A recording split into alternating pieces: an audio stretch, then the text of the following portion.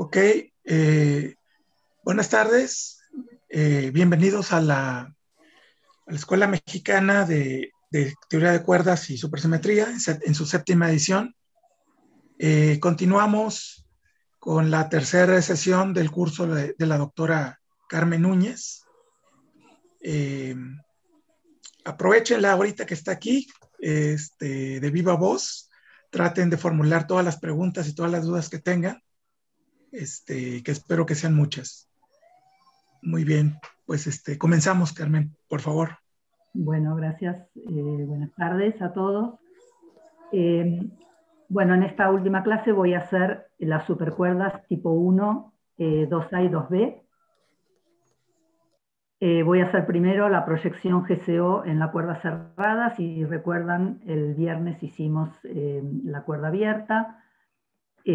Esto me va a permitir introducir las supercuerdas 2A y 2B. Y después, para hacer la supercuerda tipo 1, voy a eh, discutir un poco cómo son las interacciones en teoría de cuerdas y en particular el tema de invariancia modular, que, es importante y que de alguna manera nos va a abrir el camino también para las clases de, de Branas que van a venir a continuación. Bueno, entonces, em, recuerdo un poquito lo que habíamos visto el viernes, eh, el espectro de la cuerda fermiónica abierta. Cuando nos construíamos el espacio de Hilbert, eh, estaba en el sector de Neve-Schwarz el estado fundamental, que era un taquión.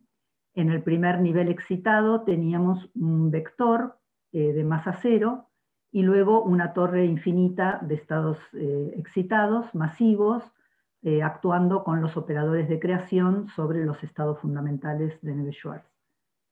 Y en el sector de Ramón teníamos el estado fundamental, que era un estado eh, fermiónico eh, degenerado en masa, lo escribíamos de esta manera, con estos S1 hasta S4 que toman valores más o menos un medio.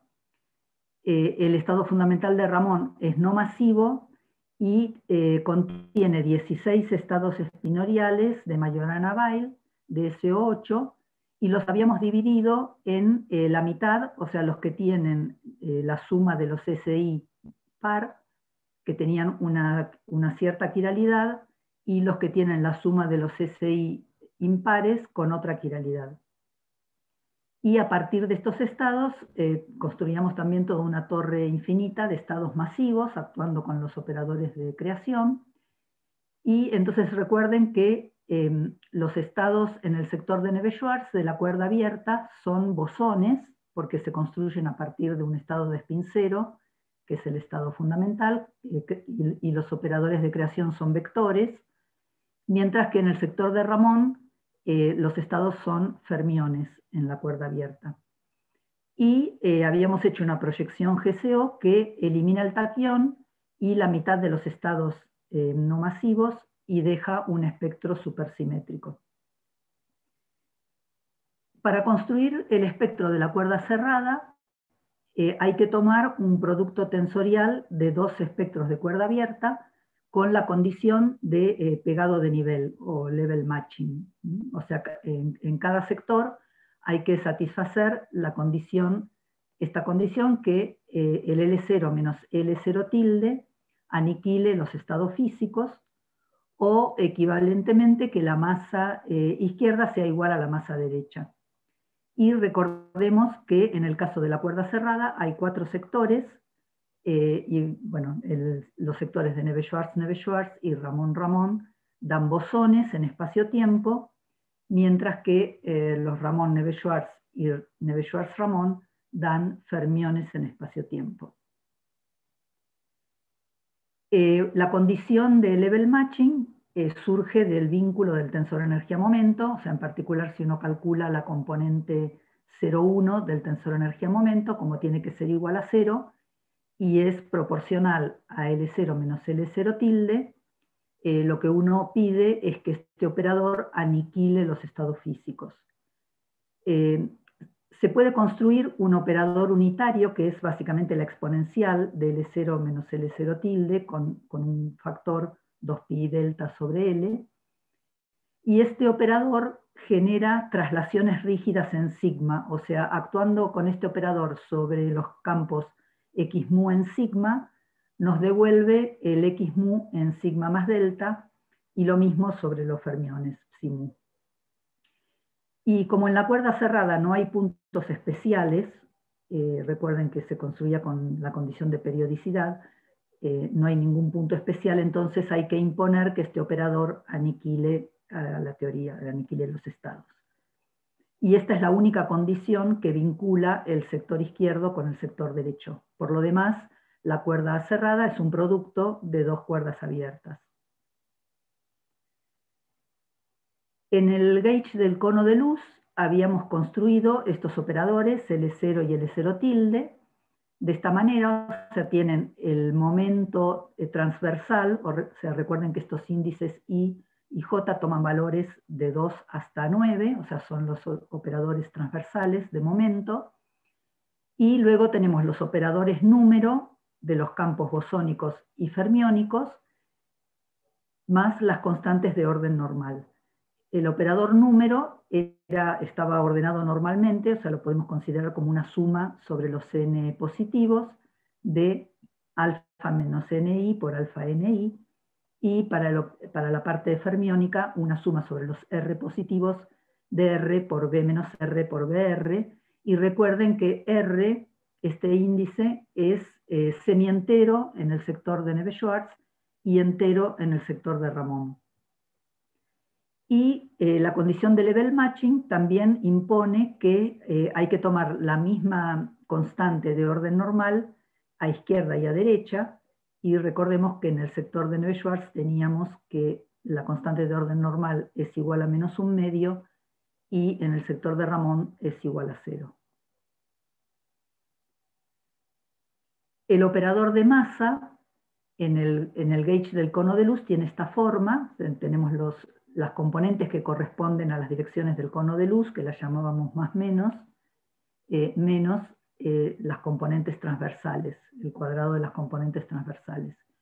Y recuerden que en el gauge cono de luz podíamos escribir todos los operadores con índices espacio-tiempo más y menos en términos de los transversales. Y en particular, el P eh, se puede escribir de esta forma como proporcional a L0 más L0 tilde, de manera que el operador de masa al cuadrado, que es eh, una suma de la masa al cuadrado left más la masa al cuadrado right, es eh, la suma de los operadores número, izquierda y derecha, más las constantes de orden normal, y sujeto a la condición de que la masa izquierda sea igual a la masa derecha. Entonces, eh, los estados de cuerda cerrada son productos de estados de cuerda abierta al mismo nivel de masa. ¿Mm? Así los vamos a construir. Entonces veamos cómo es el espectro de la cuerda cerrada. En el sector eh, Neve-Schwarz-Neve-Schwarz tenemos el estado fundamental, que es un producto de estados fundamentales de cuerda abierta, tiene eh, masa al cuadrado igual a menos 2 y autovalor de este operador menos 1 a la f que habíamos definido. Em, recuerden que el menos 1 a la f en la cuerda abierta, actuando sobre el estado fundamental, eh, tenía autovalor menos 1.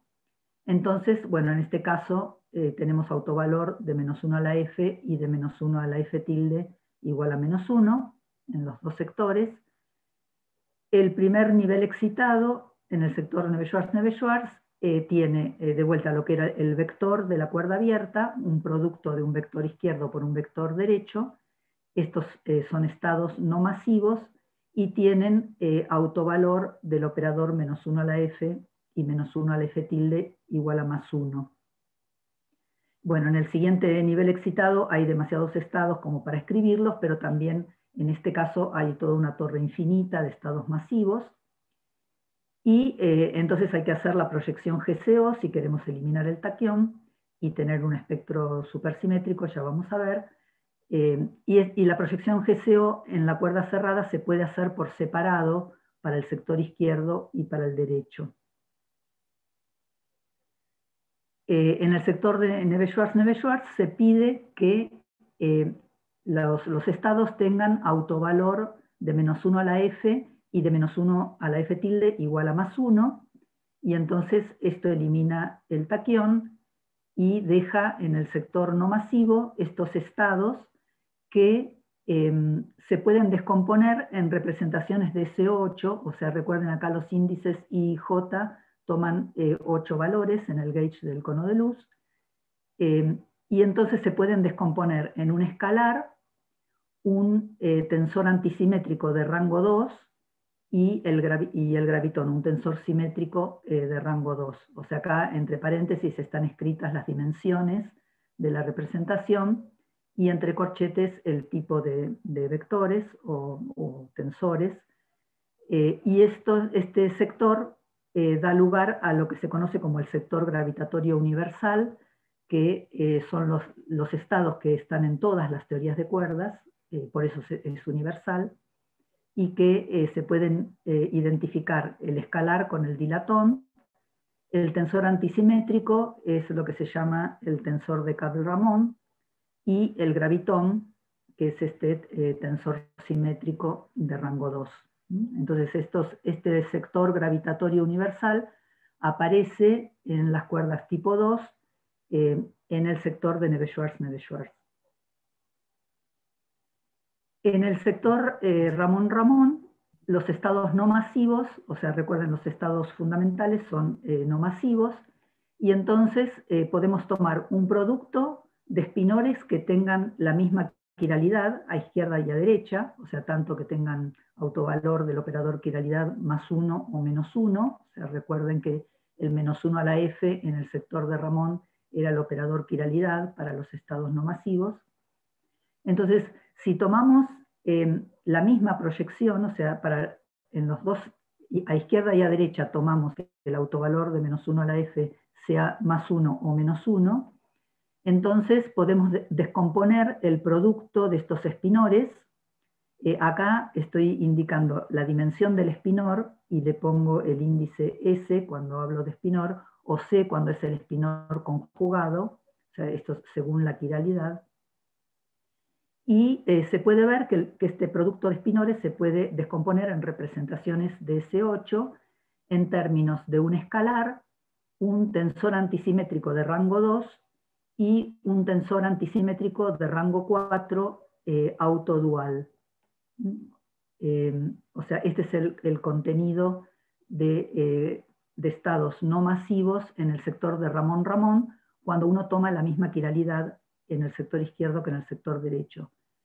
Este producto de, espinores em, está muy bien explicado, si, no, no, tengo tiempo de discutirlo, pero si lo quieren ver en el, en el apéndice B del tomo 2 del libro de Polchinski, está hecho en todo detalle cómo, cómo se descomponen estos productos de espinores en, términos de, de tensores. Em, y bueno, este es el contenido de, em, de campos de, de, estados en el sector de Ramón Ramón, cuando uno tiene la misma quiralidad a izquierda y a derecha. Y si uno toma una quiralidad opuesta a izquierda y a derecha, entonces el producto de espinores se descompone como un vector y un tensor de rango 3. O sea que eh, cuando uno tiene la misma quiralidad a izquierda y a derecha, uno tiene tensores de rango par, mientras que cuando la quiralidad es opuesta, aparecen eh, tensores de rango impar. ¿Mm? Bien, este entonces es el contenido de, estados no masivos en el sector Ramón-Ramón. Y en el sector eh, Ramón-Neve-Schwarz tenemos entonces podemos tomar un espinor de quiralidad más 1 o quiralidad menos 1 multiplicado por el sector, por el estado no masivo del sector de Neve-Schwarz, que era este vector. Entonces, eh, bueno, tenemos un producto de un espinor por un vector, el resultado va a ser eh, un espinor, y como representaciones de SO8 tenemos eh, espinores de dimensión 8 y de dimensión 56. ¿Mm? Eh, esto en, los dos casos, cuando uno toma eh, Ramón por Neve-Schwarz, Y lo mismo si uno toma Neve-Schwarz por Ramón, lo que hace es poner el sector de Neve-Schwarz a la izquierda y el Ramón a la, derecha, con las dos posibles quiralidades. Y en, los dos casos se obtienen un espinor de, de dimensión 8 y un espinor de dimensión 56. Eh, bueno, a nivel masivo hay también demasiados estados como para mostrarlos, pero se pueden armar muy fácil, o sea, simplemente hay que tomar los estados fundamentales y actuar con eh, los operadores de creación y tener en cuenta que tienen que tener la misma masa a izquierda y a derecha. Eh, hay una torre infinita de estados masivos y eh, bueno, entonces vemos que, en, la teoría de cuerdas tipo, eh, tipo 2, o sea, en, esta teoría de cuerdas cerrada, bueno, ahora vamos a ver si es la tipo 2, eh, entonces, digamos, tomando un producto de, cuerdas abiertas a izquierda y a derecha, aparece un taquión en el sector de Neve-Schwarz-Neve-Schwarz, y también se puede ver si uno cuenta los estados bosónicos y los estados fermiónicos, el número de estados bosónicos y fermiónicos no coincide, entonces el espectro no es supersimétrico. Y entonces hay que hacer eh, la proyección GCO. Eh, bueno, entonces ahora voy a hacer eh, la proyección GCO que nos va a permitir introducir las cuerdas 2A y 2B. No sé si hay preguntas. Espero un poquito a ver si quieren preguntar. No, no, no hay preguntas. Alguien preguntaba eso, un poquito los detalles de, cómo hacer la descomposición en el sector de Ramón Ramón, pero justo respondiste que, viera el Polchinski. Sí, porque es Para más detalle. Sí, es un poco larga la cuenta, pero bueno, es, sencillo. Entonces, puedes continuar, no hay preguntas en este momento. Ok. Bueno, entonces, una manera de hacer eh, la proyección GCO en el sector de Ramón es eh, hacerlo por separado para el sector izquierdo y el sector derecho. Entonces eh, se pide que el menos 1 a la f sea más 1 o menos 1, y lo mismo para el menos 1 a la f tilde. Y entonces esto deja dos posibilidades que son no equivalentes, o, son, o se hace la misma proyección a izquierda y a derecha, o se hace la proyección opuesta, o sea, se toma menos 1 a la f igual a menos menos 1 a la f tilde. Y esto va a dar lugar a lo que es la supercuerda eh, tipo 2b, cuando se toma la misma proyección a izquierda y a derecha, o la 2a, cuando se toman las proyecciones opuestas. Eh, entonces, en la teoría en la que uno toma las dos proyecciones iguales, eh, menos 1 a la f y menos 1 a la f tilde igual a 1, los estados no masivos eh, son, o sea, este es el caso de la teoría 2B, ¿no? Entonces uno tiene el sector gravitatorio universal en, el sector de Neve-Schwarz, que este está siempre.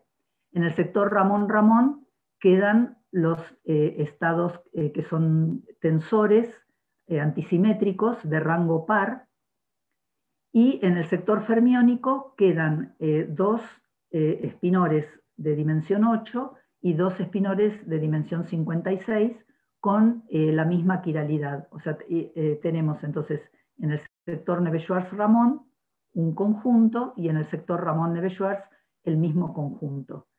Y entonces, si contamos el número de estados, eh, los bosónicos que aparecen en Neve-Schwarz, Neve-Schwarz, Ramón-Ramón, son 128 estados y los fermiónicos son otros 128 estados. Y esto indica un espectro supersimétrico. Y entonces esta proyección eh, también elimina el taquión, porque recuerden que el taquión tenía autovalor de menos 1 a la f igual a menos 1, y eh, da la teoría de supercuerdas eh, tipo 2b, cuyo espectro no masivo es el de la supergravedad 2b en 10 dimensiones. O sea, este, este espectro es el que corresponde a la supergravedad 2b en 10 dimensiones. bueno, como eh, ya dije, el 35B representa los grados de libertad de un gravitón, los dos eh, de dimensión 28 representan dos tensores antisimétricos de rango 2, y el 35S es un tensor antisimétrico de rango 4 que es eh, autodual. Y además hay dos escalares reales, el dilatón y, el otro que viene del sector de Ramón Ramón. Y los grados de libertad fermiónicos son eh, dos gravitinos, que son los que tienen los espinores de dimensión 56, que son, tienen eh, tres medios, y dos fermiones de espinum medio que se llaman los dilatinos. Y entonces el hecho de que haya dos gravitinos indica que la teoría tiene eh, dos supersimetrías. Como, y como los dos gravitinos tienen la misma quiralidad, se dice que la teoría es quiral, o sea, los, los, fermiones tienen la misma quiralidad a izquierda y a derecha, entonces eh, la teoría 2B es una teoría quiral y que tiene eh, dos supersimetrías porque aparecen dos gravitinos en el espectro no masivo. En la teoría 2A, entonces eh, hay que hacer... ¿sí? Perdón, una pregunta. Este, es para lo de la tipo 2B, es que normalmente cuando uno trabaja con la tipo 2B, esa condición de autodualidad, este, normalmente se impone, ¿no? Es decir, uno no, se puede derivar de una lagrangiana, pero no es esa la pregunta, sino la pregunta es, ¿es la proyección GO es la que, la que automáticamente dicta esa, esa condición de, de autodualidad? O es decir, uno podría tener un caso donde tenga más grados de libertad y solo por conteo de grados de libertad imponer la condición de autodualidad. No, no, eso sale, eso sale cuando uno hace el producto de los espinores, eh, sale que el tensor de rango 4 antisimétrico es autodual. Eh, o sea, sale de hacer la cuenta, de, multiplicar las representaciones espinoriales. Ok. No, es que hay que imponerlo de afuera. Ok. Ok, sí, sí. O sea, es, al nivel ya de ecuaciones de movimiento donde sí ya uno dice, impongo esto, ¿no? Para que los grados de libertad se sean sosteniendo. lo que sucede es que, es que cuando uno quiere escribir la acción efectiva de bajas energías, la acción de, de supergravedad que corresponde a este espectro, tiene que imponer esa condición. O sea, no, hay una manera de imponerlo de manera lagrangiana. En, digamos, en, el lagrangiano no se sabe escribir un término para un tensor eh, de, rango 4 autodual. Entonces uno lo tiene que imponer aparte. Sí, sí. Esta, esta, esta, este, esta, identificación cuando uno dice supergravedad tipo 2A o tipo 2B, es decir, uno entiende que esa supergravedad es el límite de bajas energía, ¿no? De la teoría.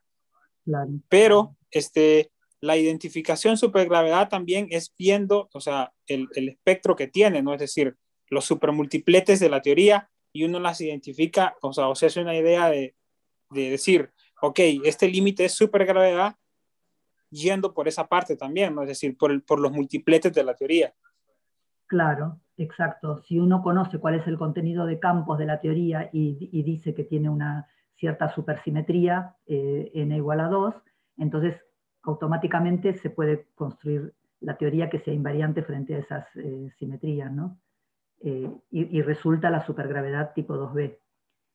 Eh, y acá uno se, bueno, uno se construye el espectro de, de la teoría de cuerdas y si, bueno, ahora un poco más adelante espero tener tiempo de discutir las interacciones. Si uno calcula interacciones de estos estados en la teoría de cuerdas, y toma el límite eh, de bajas energías, resulta que la acción que obtiene coincide con la supergravedad eh, tipo 2B, el, orden más bajo, ¿no? o sea, los términos que tienen dos derivadas de los campos, eh, de los campos bosónicos y una derivada de los fermiónicos, coinciden con la supergravedad tipo 2B.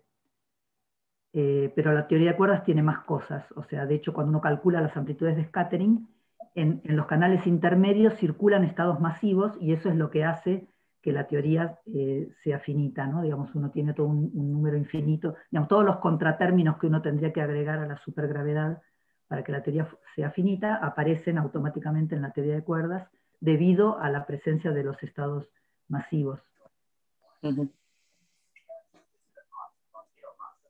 Ok, gracias. Bueno. Eh, bueno, entonces, em, para la teoría 2A, entonces el contenido de campos es de vuelta en el sector Neve-Schwarz-Neve-Schwarz, eh, tenemos también el sector gravitatorio universal, en el Ramón-Ramón tenemos los tensores antisimétricos, los tensores antisimétricos de rango impar, y en el sector fermiónico también tenemos dos dilatinos y dos gravitinos, pero ahora tienen quiralidad opuesta. Entonces, em, bueno, de vuelta, los gravitinos eh, tienen spin 3 medios, estos eh, de dimensión 8 tienen spin 1 medio, cada uno de una quiralidad distinta. Como hay dos gravitinos, de nuevo hay supersimetría n igual a 2, pero ahora es no quiral, porque la quiralidad es distinta a izquierda y a derecha. Y esta eh, da la teoría de supercuerdas tipo 2A, que en su sector no masivo es la supergravedad 2A en 10 dimensiones. El espectro no masivo de la teoría 2A se puede obtener por reducción dimensional de la supergravedad en 11 dimensiones a 10 dimensiones. Esto lo, discutió eh, Alejandro en el curso. Eh, uno puede hacer reducción dimensional de la supergravedad en 11 dimensiones y obtiene el espectro de la supergravedad 2A.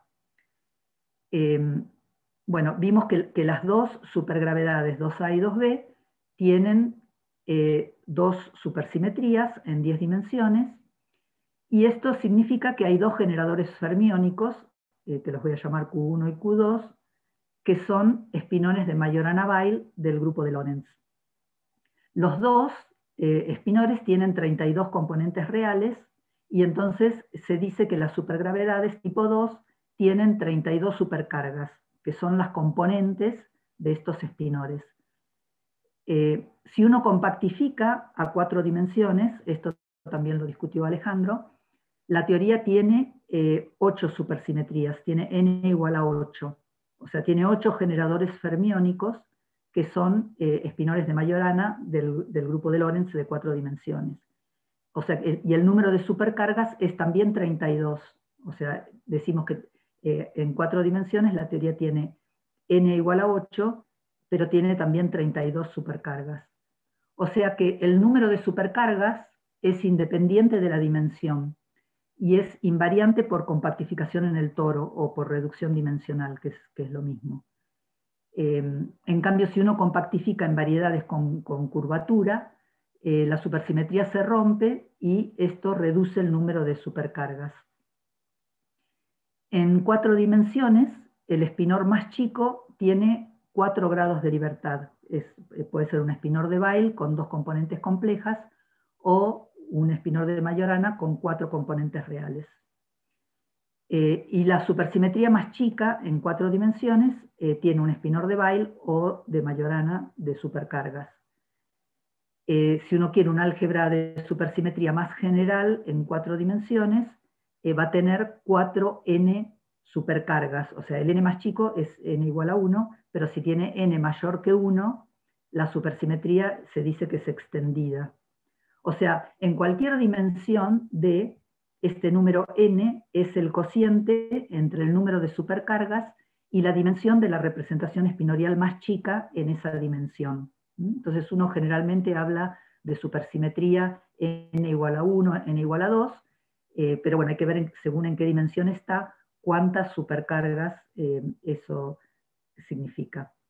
O sea, según las componentes, o sea, el N, digamos, el N es lo que cambia, el número de, supercargas es, la, digamos, la, cantidad de componentes que tiene el espinor. Bueno, esto simplemente, eh, creo que algo de esto ya había discutido Alejandro, simplemente para recordar. Eh, y entonces eh, voy a pasar a la cuerda cerrada no orientada.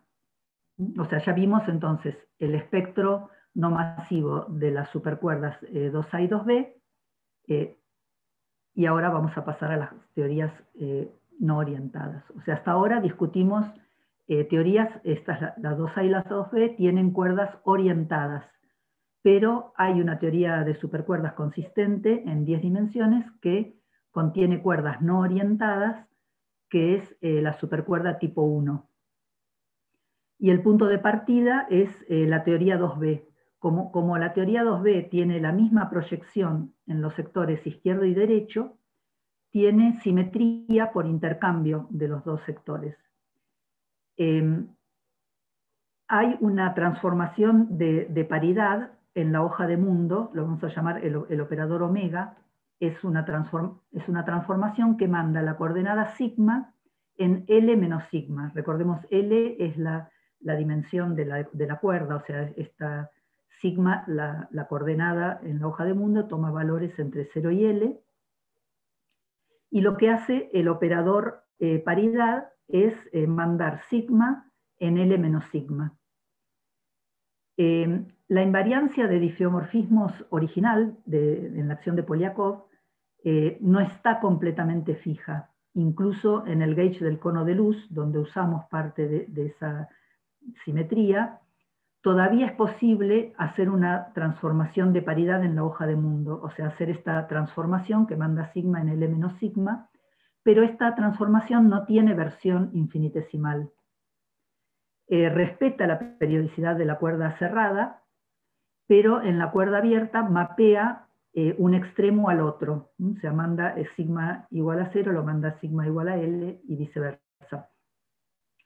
Eh, pero lo que hace es invertir la orientación de la hoja de mundo. O sea, el producto wedge de sigma de tau cambia de signo porque básicamente sigma cambió, de signo.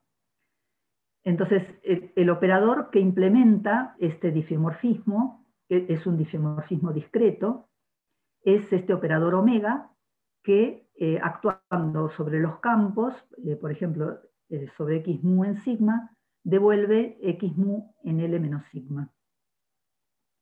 Y bueno, lo mismo para los fermiones.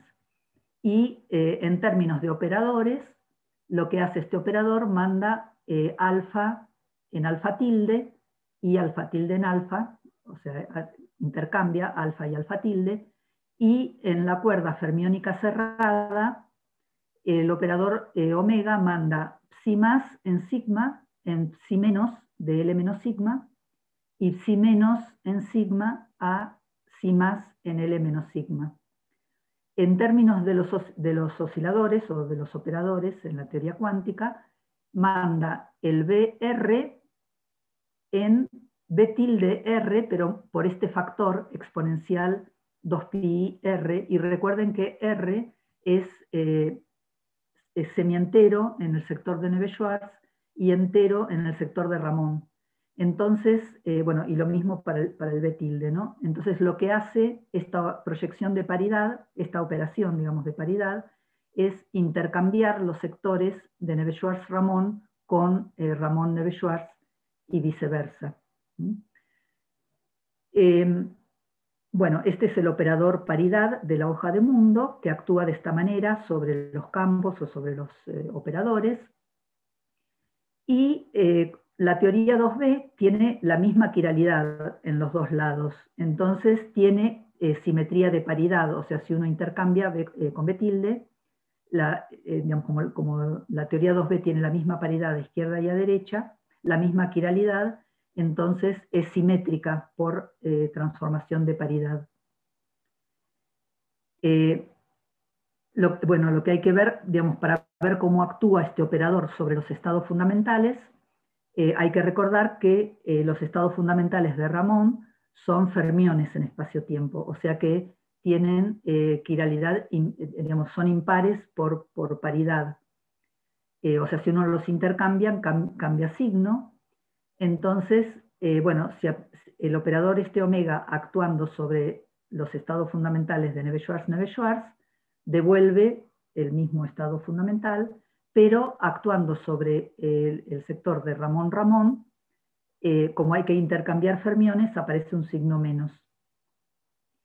Eh, y en Neve-Schwarz-Ramón y Ramón-Neve-Schwarz, como hay un, un, bosón por un fermión, no, no pasa nada, o sea, simplemente uno intercambia el, el Neve-Schwarz con Ramón y el Ramón con Neve-Schwarz. Okay. Esta entonces es la acción del operador paridad sobre los estados fundamentales de, la teoría 2B. Entonces, si uno, hace, si uno quiere hacer una proyección por, eh, paridad en el espectro de la teoría 2B, en el sector eh, Neve-Schwarz-Neve-Schwarz, este operador omega eh, elimina el tensor antisimétrico, ¿no? porque el tensor antisimétrico es un producto del alfa por alfa tilde, eh, antisimétrico y como el operador paridad intercambia alfa con alfa tilde, eh, si uno quiere una teoría simétrica de paridad, eh, tiene que proyectar out, tiene que eliminar el tensor antisimétrico. Entonces, eh, al hacer la proyección por omega, en el sector Neve-Schwarz, queda el escalar y el gravitón, este de dimensión 35. Y en el sector Ramón-Ramón eh, eh, pasa al revés, o sea, en el Ramón-Ramón queda solo el tensor antisimétrico de rango 2 y esta proyección elimina el escalar y el tensor de rango 4 autodual. Estos estados son simétricos por el intercambio de los fermiones eh, de la misma quiralidad, eh, y esto se puede ver eh, contando estados o de vuelta en, más detalle considerando los autovalores de los operadores de Lorentz, de las representaciones, y entonces al intercambiarlos, recuerden que en el sector Ramón Ramón aparece un signo, entonces el, operador paridad elimina estos estados simétricos y mantiene solo el tensor antisimétrico de rango 2.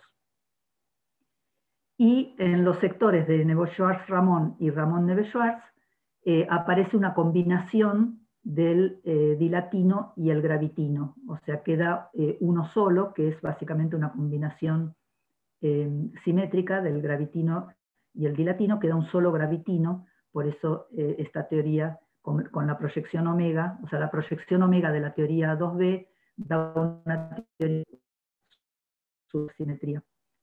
Eh, y entonces tenemos en, esta teoría eh, la teoría 2B de cuerda cerrada con eh, la proyección omega, el, sector no masivo contiene un escalar y un gravitón y un tensor antisimétrico de rango 2 que viene del sector de Ramón-Ramón y en, el sector fermiónico tiene un dilatino y un gravitino. Estos son los estados de la supergravedad n igual a 1 en 10 dimensiones, que es el sector no masivo de la cuerda cerrada de la teoría de supercuerdas tipo, tipo 1. ahora vamos a ver que esta, teoría, digamos, que hacer la proyección de paridad en el sector de cuerda cerrada, o sea, de la, tipo 2B, da una teoría que no es consistente, o sea, la, la teoría que se obtiene a partir de la 2B manteniendo solo los estados que son invariantes por la inversión de la orientación de la hoja de mundo, es una teoría inconsistente. Y vamos a ver que la consistencia eh, implica que hay que agregar cuerdas abiertas, que eh, son las que van a originar el sector de gauge no masivo, de manera que la teoría completa va a tener eh, supersimetría n igual a 1, o sea, va a ser la de la supergravedad n igual a 1 en 10 dimensiones acoplada a Super Mills en 10 dimensiones. Este esta es la, digamos, la, supergravedad tipo 1 acoplada a, a Super Mills. Pero entonces, para entender eh, la supercuerda tipo 1, hay que eh, discutir un poco las interacciones. Entonces, eh, bueno, voy a hacer de vuelta un alto por si quieren hacer preguntas y voy a pasar a discutir interacciones, lo voy a hacer en el caso de la cuerda bosónica porque la base es más o menos la misma. Pero bueno, espero a ver si hay preguntas. En el chat no hay preguntas y a menos que alguien tenga alguna, encienda su micrófono, por favor.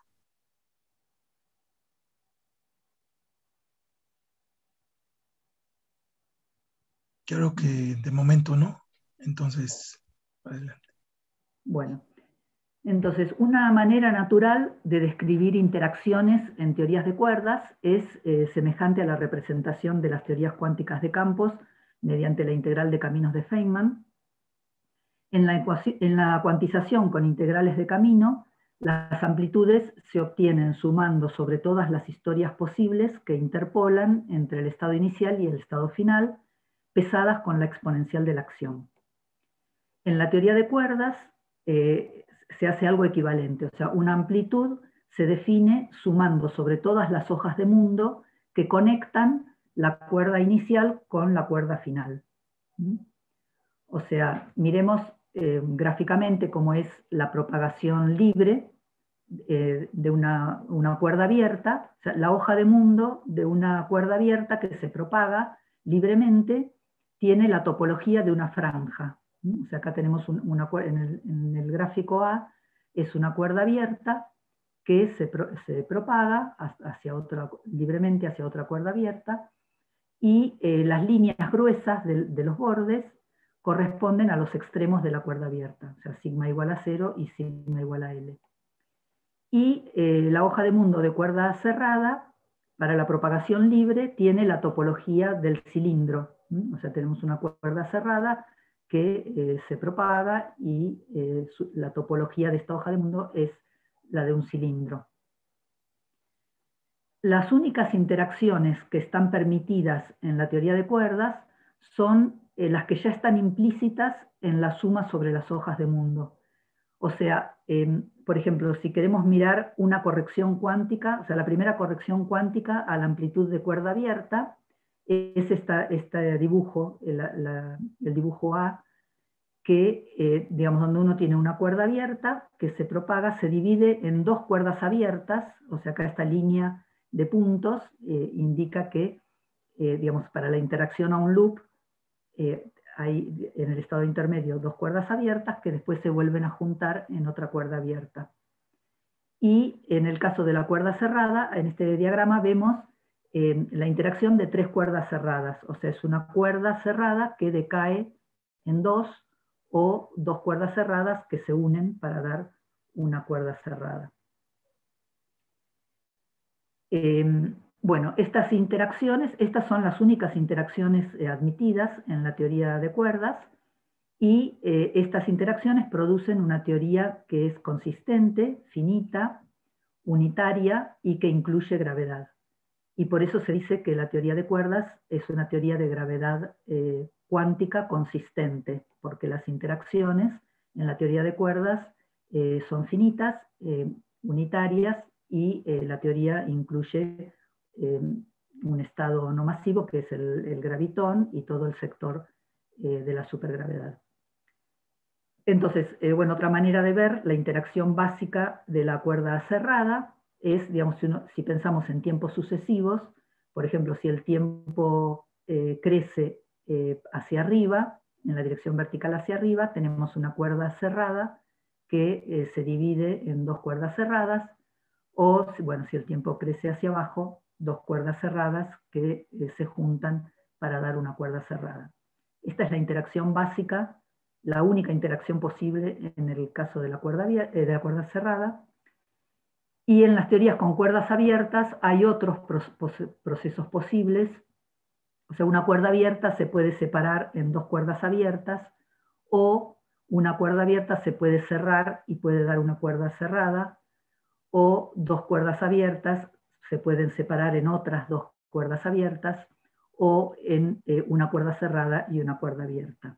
estos son los procesos básicos cuando hay eh, cuerdas abiertas. Em, el operador paridad, entonces, que estábamos discutiendo recién, está relacionado con la inclusión de hojas de mundo no orientadas. O sea, si uno no tiene una teoría no orientada eh, con cuerdas abiertas, hay que incluir estas dos hojas de mundo, o sea, esta, esta hoja de mundo eh, para la cuerda eh, orientada y esta otra en la que eh, la cuerda está no, no, está orientada, o sea, la cuerda cambia de orientación. o sea, el procedimiento es el, es el, siguiente, o sea, en, en la hoja de mundo no orientada es equivalente a cortar la hoja de mundo orientada por la línea esta de puntos y pedir a los campos en los bordes que se cortaron que eh, el x mu eh, arriba en sigma sea igual al x mu abajo en L menos sigma.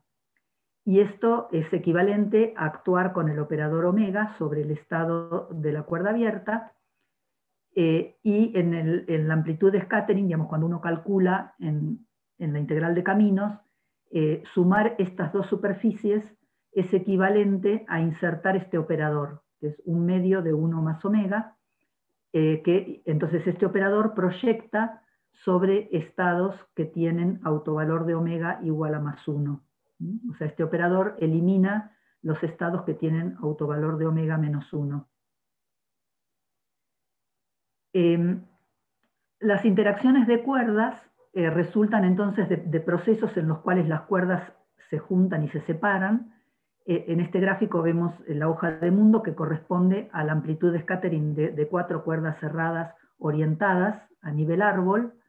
Son, eh, digamos, cuatro tubos que se extienden desde el pasado al, futuro. digamos, tenemos dos cuerdas que vienen desde el infinito pasado y interactúan de alguna manera acá y luego vuelven al futuro infinito, digamos.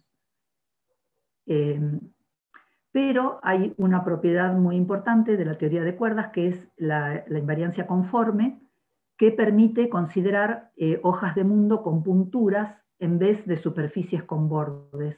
O sea, las cuerdas entrantes y salientes se pueden mapear a puntos en una superficie en dos dimensiones. Digamos, básicamente en, estas amplitudes de scattering, en lugar de considerar scattering de cuerdas, que esto sería lo que, lo que hace una teoría de campos de cuerdas, en esta primera cuantización que estamos haciendo, lo que se consideran es el scattering de estados de cuerdas, o sea, uno representa las cuerdas entrantes y salientes como eh, operadores de vértice que, crean estados de la cuerda. Y esos eh, operadores de vértice se insertan en algunos puntos de eh, superficies cerradas en dos dimensiones, de manera que las amplitudes de scattering para cuerdas cerradas orientadas se describen con hojas de mundo con, agujeros, o sea, esta sería la, superficie que corresponde al nivel árbol, Luego tenemos, eh, cuando hay un agujero, sería la, que corresponde a un loop, con dos agujeros a dos loops y así siguiendo. Y esto, si, si ven, es el equivalente de la expansión en diagramas de Feynman, pero ahora está todo ensanchado, digamos, eh, porque las cuerdas son objetos de una dimensión. ¿no? O sea, en lugar de tener líneas que corresponden a partículas puntuales que se propagan, tenemos estas, eh, estos tubos que corresponden a las cuerdas entrantes y salientes. Eh, entonces, a, G loops, al orden G de loops, estas eh, superficies se pueden mapear a variedades de dos dimensiones compactas, orientables y sin bordes.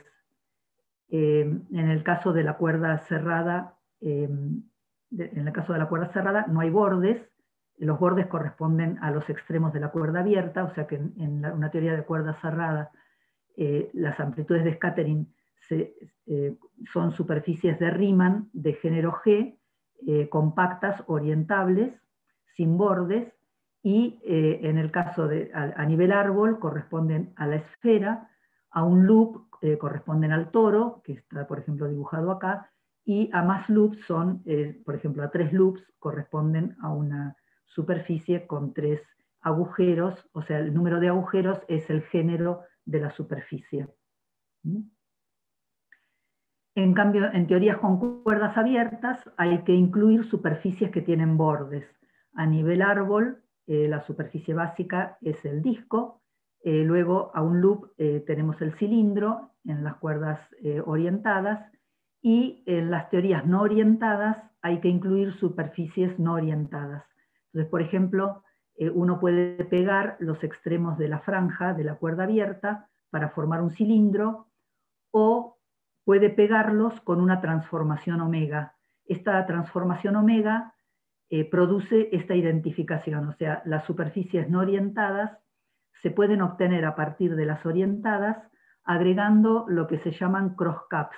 O sea, estos crosscaps corresponden a sacar un disco de la superficie e identificar puntos opuestos sobre el borde. Y esto, bueno, por esto los, indico con estas cruces, ¿no? identificamos eh, puntos opuestos sobre, sobre el borde. Eh, a nivel árbol, en la teoría de cuerdas eh, no orientadas, hay que incluir la, esta superficie que es el, plano proyectivo. A un loop, estas superficies no orientadas incluyen la banda de Moebius, que que se representa de esta forma, como un cilindro donde en, uno de los extremos hay orientación, y eh, la banda de Moebius que tiene crosscaps en los dos extremos del, cilindro. Bueno, al calcular entonces las amplitudes de scattering, lo que uno tiene que hacer es eh, sumar sobre eh, todas las superficies de Riemann de todos los géneros, de géneros desde cero hasta infinito, las amplitudes de scattering a cada uno de los géneros. Y esto básicamente, lo voy, lo voy, a decir heurísticamente, pero no voy, a discutir los detalles, pero básicamente significa eh, sumar sobre cada género un término que eh, depende del, género. O sea, hay algunos factores que, dependen del, género que uno está considerando en la superficie de Riemann, y luego tiene una integral funcional sobre los campos de la teoría. En este caso que estoy haciendo la bosónica, simplemente la métrica y, los x nu, si hiciéramos la supercuerda, tendríamos que incluir el Swabine, el gravitino y los, y los fermiones Psimu. Eh, pero bueno, entonces uno hace una integral funcional sobre los campos de la teoría de eh, un producto de operadores de vértice que representan los estados que están entrando y saliendo en la teoría, pesados con la exponencial de la acción. O sea, este es el cálculo que hay que hacer para calcular eh, amplitudes de scattering en teoría de cuerdas. Como la acción es invariante por transformaciones conformes y por difiomorfismos de la hoja de mundo, entonces esta, que es la integral de caminos de Polyakov, se llama, es divergente. O sea, hay un enorme sobreconteo, o sea, como esto es una teoría de Gauge, eh, hay un enorme sobreconteo porque, por ejemplo, las, configuraciones X y H y X', X', que están relacionadas por difiomorfismos y transformaciones de Bail dan la misma contribución. Entonces, para compensar eh, eh, todo este sobreconteo, lo que hay que hacer es que hay que dividir por el volumen del grupo de, simetrías, de manera de tomar un único representante de cada configuración. O sea, básicamente lo que hay que hacer es, eh, digamos, hay, que integrar sobre todo el espacio de campos y dividir por el volumen eh, de la órbita, de la órbita de Gauge, y esto es equivalente a integrar sobre una porción que intersecta cada órbita una sola vez. O sea, acá en este dibujito vemos, eh, por ejemplo, este es el espacio de, todos los campos de la teoría, y las órbitas de Gauge son estas líneas verticales que son familias de configuraciones que son equivalentes de Gauge. O sea, cualquier punto en esta línea se relaciona con otro punto a través de transformaciones conformes o eh, difiomorfismos. Y eh, lo que hay que hacer es integrar sobre esta porción que toma un único representante de cada órbita de Gauge. Esto es eh, básicamente lo que se hace en la cuantización por integral de caminos de las teorías de Gauge. Bueno, y lo mismo se hace en la teoría de cuerdas. Em, lo que voy a discutir ahora en, más detalle es eh, la amplitud de vacío, o sea, cuando no insertamos operadores de vértice. Eh, esta es, digamos, una amplitud muy importante, es la amplitud de vacío a un loop, que solamente involucra el espectro de la teoría de cuerdas y no interacciones de los estados. Eh, la superficie de Riemann relevante a un loop en la teoría de cuerdas cerrada es el toro, y lo que voy a hacer es calcular la función de partición. Va a calcular es una manera muy ampulosa de decir lo que voy a hacer, porque básicamente voy a poner el resultado para discutirlo, porque sería, digamos, tomaría mucho tiempo discutir el cálculo, pero bueno, de vuelta lo pueden ver en los libros. Em, entonces, lo que voy a mostrar es el resultado de, la función de partición en el toro de la cuerda cerrada en el gauge del cono de luz porque esto me va a permitir introducir el concepto de invariancia modular, que vamos a ver que es muy importante en la teoría de cuerdas. Eh, entonces, bueno, voy a discutir invariancia modular y eh, pregunto si hay preguntas. No hay preguntas de nuevo en el chat, pero podemos eh, invitar a los estudiantes a que pregunten ahora. Sí, una pregunta. Adelante. cuando, se, cuando se dibujan esas, este, esas superficies que, que, que, le dicen a uno, o sea, las interacciones de las, de las cuerdas, o sea, esa, una, por ejemplo, los tubos. Uno tiene dos tubos, interactúan y, y, de pronto se ve en medio una cosa como un, un, un toro, ¿no? O pueden ser tres toros, en medio, o sea, tres toros pegados en medio, en medio de esa cosa. O sea, pero eso implica que entonces uno tiene dos cuerdas cerradas interactuando, pero dentro de esos, este, como de esos toros, o sea, esas son cuerdas abiertas. O sea, la pregunta es, ¿es como una mezcla entre cuerdas abiertas y cerradas las interacciones que se pueden dar, o sea, al nivel de la, de la cuerda, ¿no? En la, en la teoría de cuerdas abiertas, sí pero en la teoría de cuerdas cerradas es, solamente hay cerradas. O sea, es como que la, cuerda abierta es, un poco más fundamental. Las cuerdas cerradas em, solo eh, producen cuerdas cerradas. ¿Ok? Eh, o sea, en este tubo acá interactúan solo cuerdas cerradas. Eh, en, la, en, la, teoría de cuerda abierta, sí, las, las, cuerdas abiertas pueden dar también cuerdas cerradas, porque la, la cuerda básicamente la cuerda abierta se puede cerrar y formar una cuerda cerrada. Eh, pero bueno, ahora, ah, digamos, ahora voy a construir explícitamente la, tipo 1 que tiene cerradas y abiertas y vamos a ver eh, cómo son las superficies que, contribuyen en ese caso. Sí, cuando uno piensa, o sea, cuando uno piensa en una teoría de campo, uno normalmente tiene sus vértices, ¿no? Que, que, normalmente, o sea, es decir, los puntos así, donde están los puntos donde se unen dos líneas, eso normalmente, o sea, tiene un problema, ¿no? Y uno dice, ese punto ahí o sea, es el problemático. Aquí, o sea, lo que se desaparece es ese punto, ¿no? Pero por la topología de los objetos que estamos tratando. Entonces, en ese sentido, es que, es que uno dice, ahora tengo una teoría que es finita, o sea, es decir, o es renormalizable, o sea, es decir, repara este problema que la gravedad, cuando uno intenta cuantizar gravedad con, con técnicas de teoría de campo normal, o sea, lo que quita es eso, ¿no? Los, los puntos y los sustituye y se sustituyen por la topología que ahora este, inducen estos objetos extendidos que estamos tratando. Claro, sí, justamente son esos puntos en, las teorías de campos los que dan los infinitos, ¿no? o sea, las, divergencias ultravioletas. En la teoría de cuerdas eh, se supone que, la teoría es, es, finita a todo orden.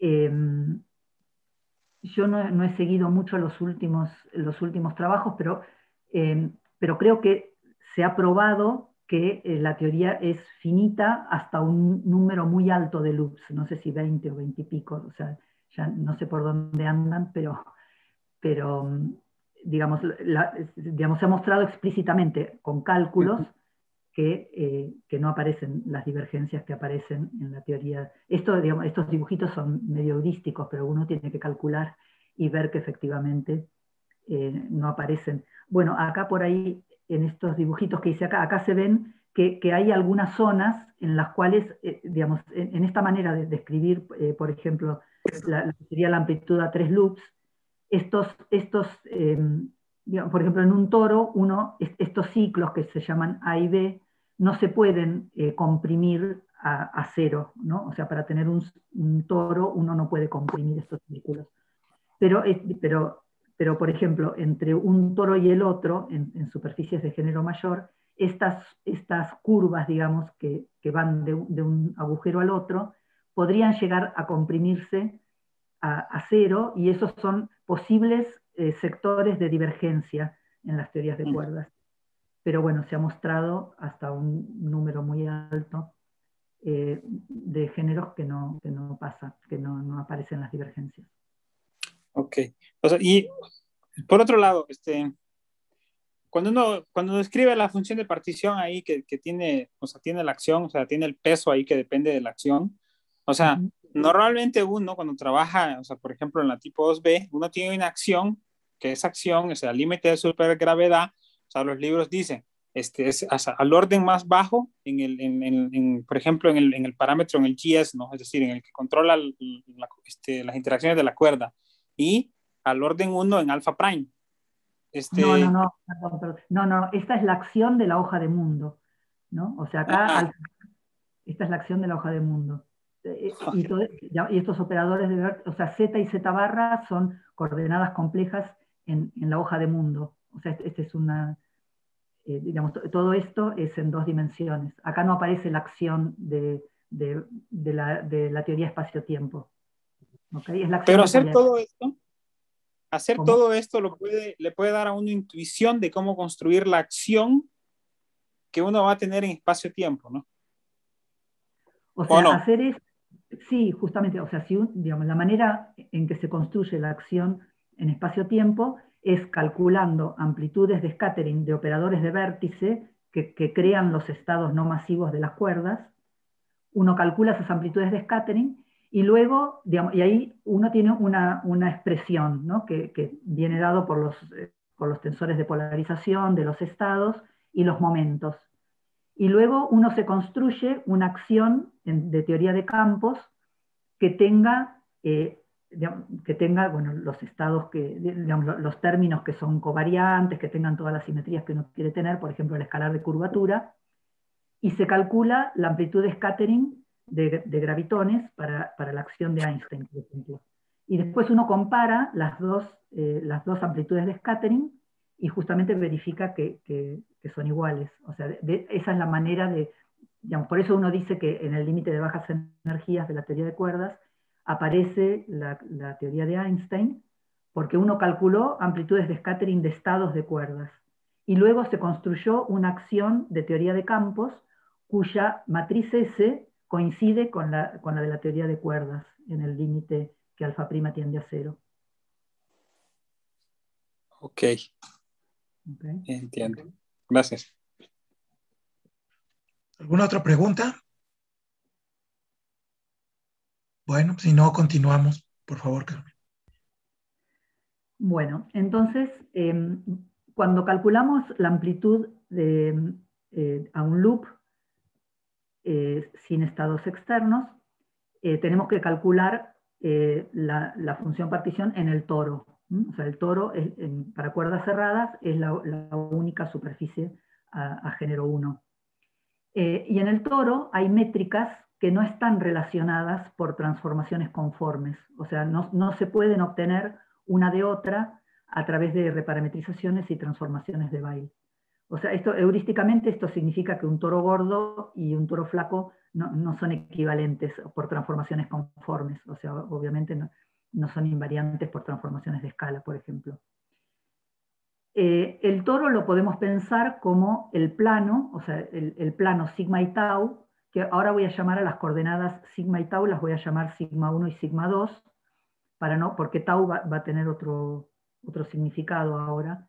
Pero bueno, o sea, voy a llamar sigma 1 y sigma 2 a las coordenadas de la cuerda, y el toro, entonces, lo podemos eh, pensar como eh, la identificación de puntos en el plano sigma 1, sigma 2. O sea, identificamos eh, sigma 1 y sigma 2 con sigma 1 más m, sigma 2 más n, donde m y n son enteros, son números enteros, y básicamente podemos dividir todo, todo, el plano en rectángulos con lados identificados. Esto es un toro. Ahora hay un teorema que dice que no es posible hacer la métrica plana con una transformación de difiomorfismos por Weil que deje la periodicidad invariante. O sea, una vez que elegimos la periodicidad, eh, no se puede hacer que la métrica sea plana y mantener la periodicidad invariante, pero sí se puede llevar la métrica a esta forma, de sigma 1 más tau de sigma 2 módulo al cuadrado, donde este tau es una constante compleja, o sea, no confundir con el tau, que era el tiempo en la hoja de mundo, y ahora llamo tau a, esta, a una constante compleja. Entonces uno no puede mantener la periodicidad fija y eh, tener a su vez la métrica plana. Em, alternativamente, uno puede tener una métrica plana en el toro si uno, eh, por ejemplo, supongamos que defino coordenadas complejas, eh, W y W barra, que sean sigma 1 más menos y sigma 2, entonces, eh, se puede hacer la métrica plana, pero en ese caso la periodicidad tiene, aparece el parámetro tau en la periodicidad. O sea, el toro hay que definirlo con esta identificación de W con W más M más N tau. O sea, en esta parametrización, el toro es un paralelogramo en el plano W con condiciones de contorno periódicas y aparece este, este número complejo tau en la periodicidad. O sea, este tau o aparece en la periodicidad o aparece en la métrica, pero uno no puede olvidarse de ese tau.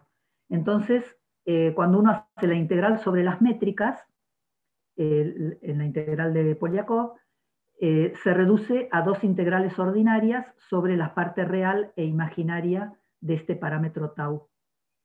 Pero como la métrica eh, escrita de esta forma, de sigma 1 más tau de sigma 2 al cuadrado, es invariante por conjugación de tau, entonces podemos restringirnos a imaginario de tau positivo. Este tau se llama parámetro de Teichmüller o módulo del toro. Y bueno, es fácil ver que el valor tau más 1 genera las mismas identificaciones que tau.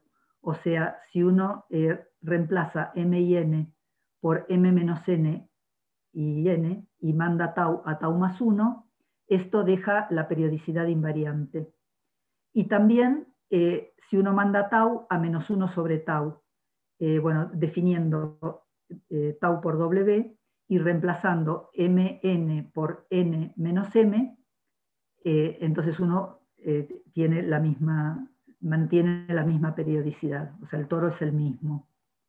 O sea, la aplicación eh, repetida de estas dos transformaciones, estas transformaciones se llaman la transformación T, manda tau a tau más 1, y la S manda tau a menos 1 sobre tau. Y esto genera lo que se llama el grupo SL2Z, o sea, la, la, transformación eh, que manda tau a, a, tau más b sobre c tau más d con eh, ABCD enteros y tales que AD menos BC es igual a 1. Esto genera, es el grupo SL2Z de las matrices 2x2 eh, con, eh, con entradas enteras y que tienen determinante 1. Y como las matrices ABCD y menos A menos B menos C menos D generan la misma transformación, el grupo modular es eh, lo que se llama el PSL2Z, que es en realidad el SL2Z sobre eh, Z2.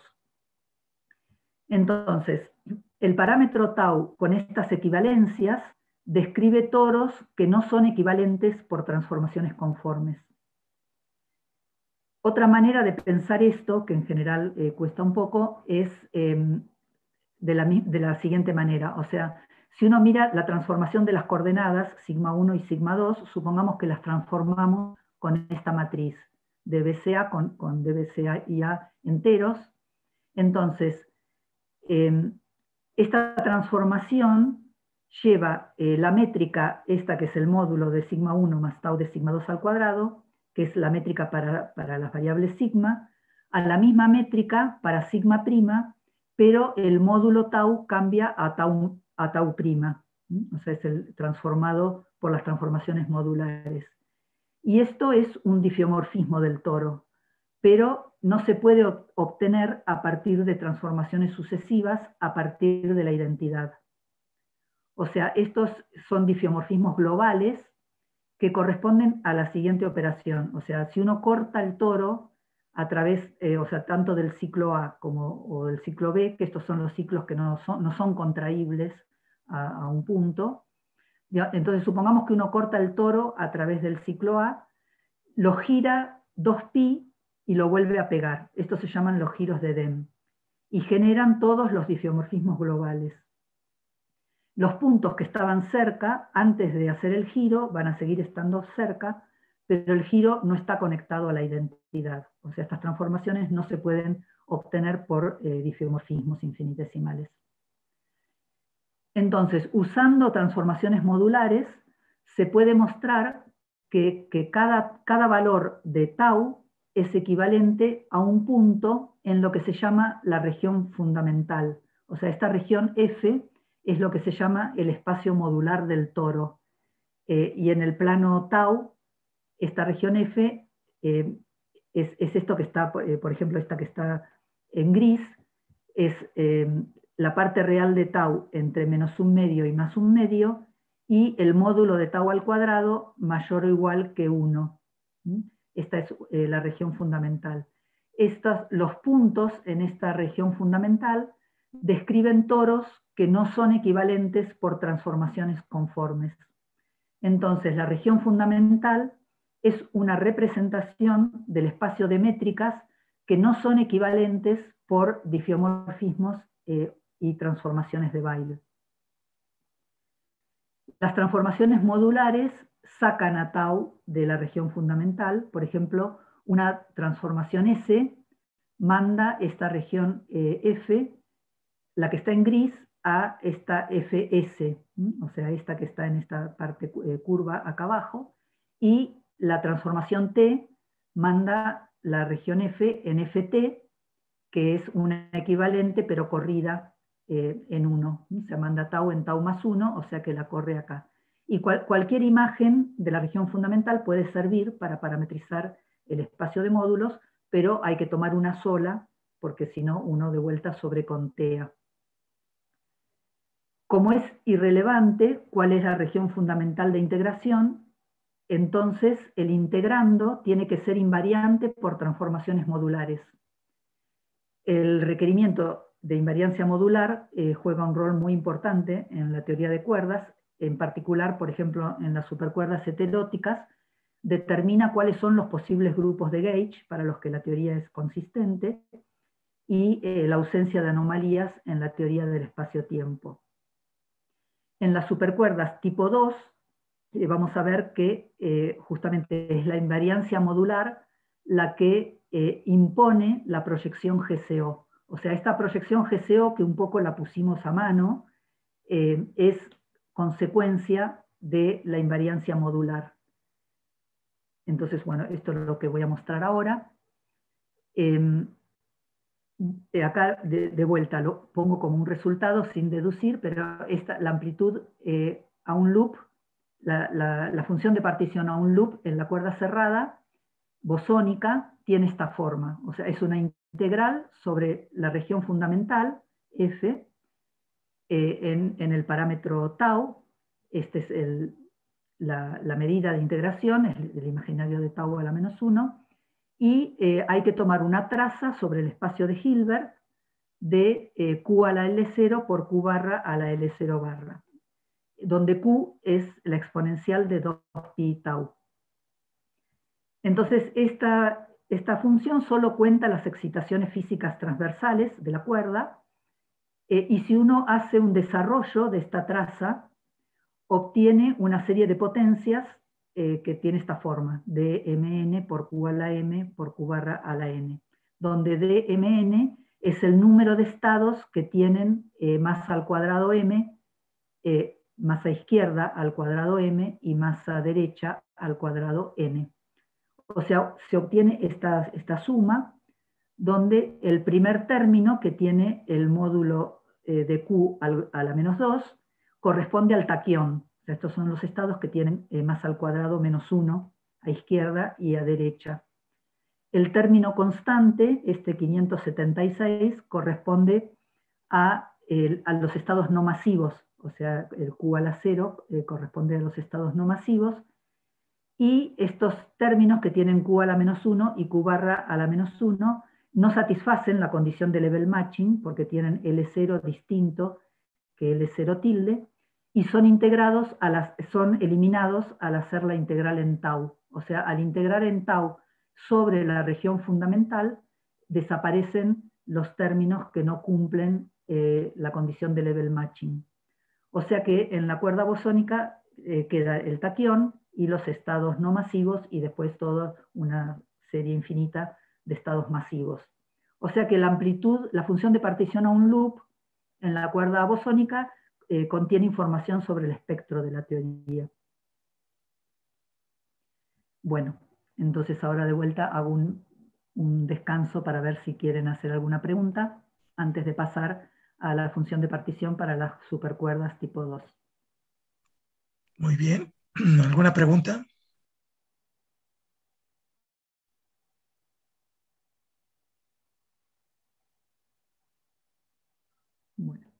Parece que la están dejando para el final. Ok, adelante. Bueno, entonces, em, vamos a ver que el requerimiento de invariancia modular en las, tipo 2 resulta en la proyección GCO, y esto surge de la posibilidad de tener condiciones de contorno periódicas o antiperiódicas para los fermiones, que esto es lo que se llama, eh, es la noción de estructuras de spin. O sea, eh, si parametrizamos el toro con las coordenadas sigma 1 y sigma 2, eh, que toman valores entre, entre 0 y 1, o sea, ahora tomamos condiciones periódicas en sigma 1 y sigma 2, los fermiones, eh, recuerden, o sea, los fermiones pueden ser periódicos o antiperiódicos. entonces pueden ser periódicos o antiperiódicos en sigma 1 y también en sigma 2. Y recuerden que las condiciones de periodicidad en sigma 1, sigma 1 es sigma, eh, corresponden al sector de Ramón y antiperiódicas en sigma 1, o sea, en sigma, corresponden al sector de Neve-Schwarz. Eh, por transformaciones modulares, eh, estas estructuras de spin se transforman y se, mezclan entre sí. Entonces, bueno, la, más más, o sea, periódica periódica no, se mezcla por, por, estas transformaciones modulares, pero las demás se mezclan entre sí. Entonces, si uno quiere tener una amplitud eh, que sea invariante modular, tiene que sumar sobre todas las estructuras de spin, y eso, eh, o sea, tener invariancia por difiomorfismos, incluyendo los difiomorfismos globales, requiere sumar sobre todas las, estructuras de spin para tener invariancia modular, y en particular, eso implica que hay que incluir los sectores de Ramón y de Neve-Schwarz. O sea, la invariancia modular dice que para tener una teoría consistente necesitamos incluir los dos sectores, Ramón y Neve-Schwarz. Y eh, bueno, en el gauge del cono de luz, la contribución de los fermiones a la, función de partición tiene esta forma. O sea, tiene en el sector de Neve-Schwarz aparece la exponencial de 2pi tau por el hamiltoniano en el sector de Neve-Schwarz, eh, y aparece este, este término que es justamente la proyección GCO, que es un medio de 1 menos menos 1 a la f. Recuerden que en el sector de Neve-Schwarz nos habíamos quedado con los estados que tienen autovalor de menos 1 eh, a la f igual a menos 1, o bueno, o a más 1, ya no me acuerdo, o sea, depende la, la, proyección que uno tome. Eh, y, aparece, o sea, ahora aparece este término de menos 1 a la f, porque para eh, variables anticonmutantes, la traza eh, implica que los fermiones satisfacen condiciones de contorno antiperiódicas en la dirección temporal.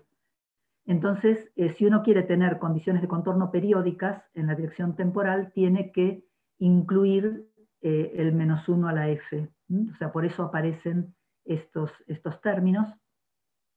Eh, cuando uno suma sobre todas las estructuras de spin en el sector fermiónico, eh, para, considerar las eh, condiciones de contorno periódicas y antiperiódicas en el tiempo, necesita introducir estos menos 1 a la f, que son justamente los que implementan la proyección GCO.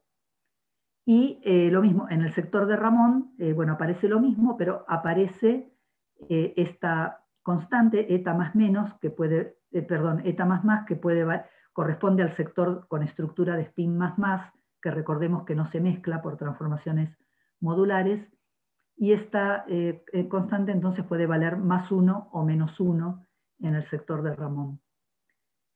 Em, entonces, bueno, de vuelta a recordar que este factor 1 menos, menos 1 a la f en el sector de Neve-Schwarz es justamente la proyección GCO, y en el sector de Ramón, eh, como uno puede tomar menos 1 a la f más o menos 1, esto eh, está de acuerdo con que uno puede tomar, al calcular la amplitud a la función de partición, uno puede tomar eta más más igual a más o menos 1.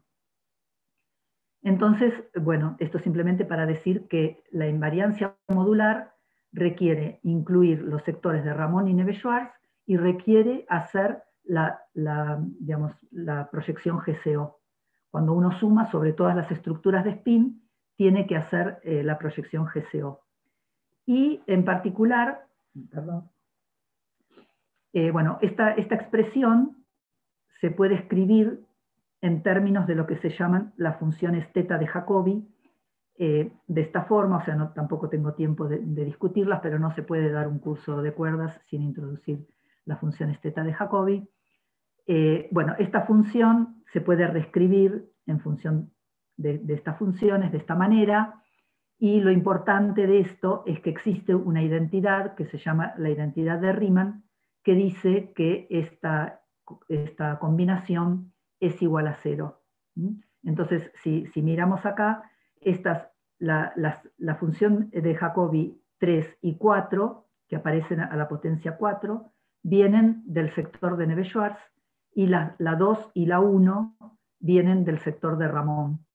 Y en particular se puede mostrar que la teta 1 eh, es igual a 0 cuando uno la calcula en el toro, eh, es igual a 0, o sea que, queda básicamente esta suma de tres términos, pero entonces la identidad de Riemann dice que eh, la contribución del sector de Neve-Schwarz se cancela con la contribución del sector Ramón-Ramón, y esto es una manifestación de que el espectro es supersimétrico, o sea, las contribuciones de los fermiones cancelan las de los bosones y viceversa. Bueno, ahora no hago un descanso porque si no, no voy a terminar. O sea, voy a discutir la supercuerda tipo 1 y eh, después entonces vamos a las preguntas. Eh, entonces, vimos que el espacio de Hilbert de la teoría 2B admite la acción del operador paridad porque es quiral y, omega es una simetría, o sea, la proyección de paridad es una simetría de la teoría 2B. Y el operador 1 eh, más omega proyecta sobre estados que tienen autovalor de paridad más 1. Entonces, en la función de partición se inserta este operador, o sea, si uno quiere eh, calcular la función de partición en la teoría 2B con la proyección omega, tiene que insertar el operador proyección omega tiene también el operador proyección GCO por la, función partición que habíamos visto en el caso de la bosónica. Entonces, acá lo podemos separar en una parte que corresponde a la función partición en el toro, más otra, eh, una traza sobre el espacio de Hilbert de un sector que contiene la proyección omega y la proyección GCO. Entonces acá usamos que todos los estados que contribuyen a la traza tienen L0 igual a L0, L0 barra, por eso lo llamo T, ahora a la parte imaginaria de tau, eh, y L0 es igual a L0 tilde. Bueno, entonces tengo ahora, si, incluyo la, la, acción del operador omega, tengo que incluir este término al calcular la función partición. Eh, geométricamente, incluir eh, el operador omega significa incluir la botella de Klein en, la hoja de mundo. O sea, este, recuerden que esto es lo que hacía el operador paridad, geométricamente era incluir estos crosscaps.